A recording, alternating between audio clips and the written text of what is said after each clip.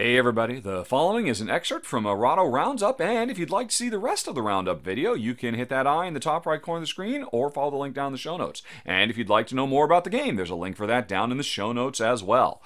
Okay, so let's talk about Concordia Venus, another expansion. And the most exciting thing about Concordia Venus is that it allows for team play.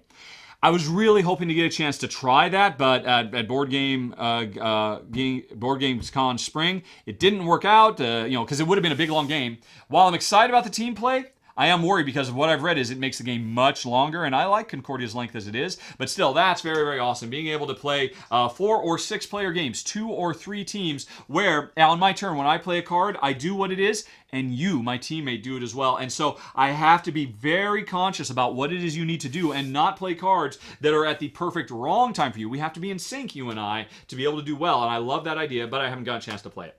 That said, there are other cool things in this expansion as well that I think are absolutely awesome. Uh, it comes with either two or three new maps, depending on whether you get just the expansion, in which case you get two new maps, or you get the standalone version, in which case you get three new maps.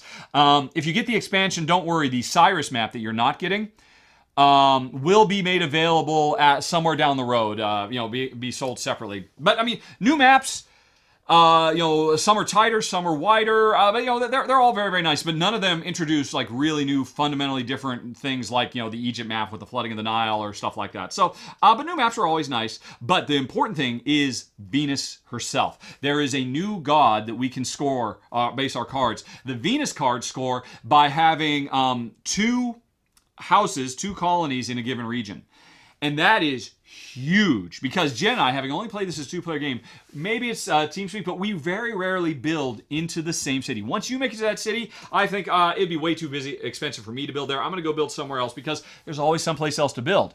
Now, because oh, you built in, um, if, if you built there. Now I can't get the Venus bonus of having two cities in that region unless I build where you build. Suddenly, building on top of other players becomes a much more prevalent thing, and it really changes the gameplay up. I love it. And these Venus cards have new functions on the other side. Multi-use cards, where you can choose to be, um, you know, the prefect or the merchant. Uh, your choice when you play it, so you have a lot more flexibility. And, oh, is it the Magister card, which um, allows you to copy the last card you played.